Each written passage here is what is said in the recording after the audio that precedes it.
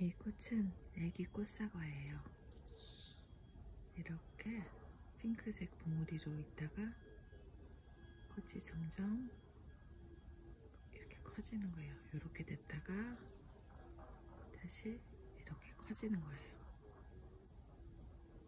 음, 약간 분재처럼 이렇게 됐죠? 원래는 이거보다 더 얇았는데 좀 자라니까 이렇게 굵어졌어요. 월동 안 되니까 겨울에는 안에 들여놨다가 봄 되면 다시 나오는 거예요.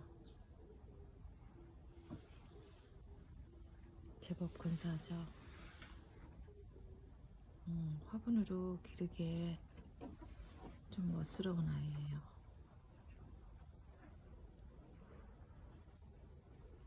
음.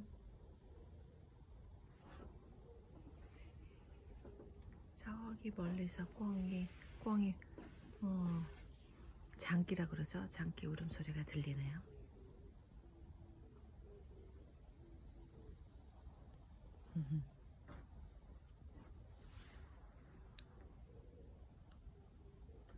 얘네들도 향 별로 없어요.